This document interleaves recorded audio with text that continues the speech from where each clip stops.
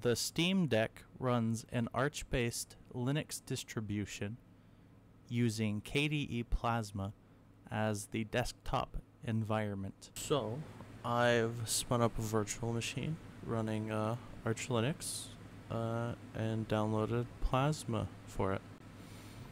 And we'll go over what the uh, desktop will probably look like on the Steam Deck when it finally releases.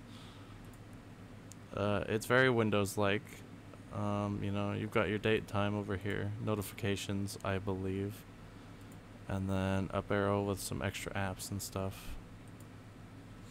Um, and then, you know, a web browser will probably be pinned down here by default, I imagine. You've got a file manager. Um, the default for Plasma is Dolphin, so that'll probably be the file manager for this system as well. Uh, right here we have Discover. It's a uh, graphical interface for the package manager. Uh, uh, you can think of it kind of like an app store. This is where you'll primarily want to install all of your software from. Um, right here is a shortcut to the system settings. So there's a bunch of customization options in here. Uh, your internet settings, you know, uh, all the all the normal stuff you'd find in a settings menu.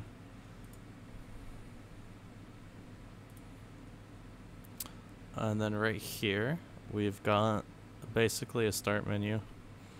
You know, it's got your username, it's got search functionality, um, and then it's got a bunch of, uh, that shows all your apps installed.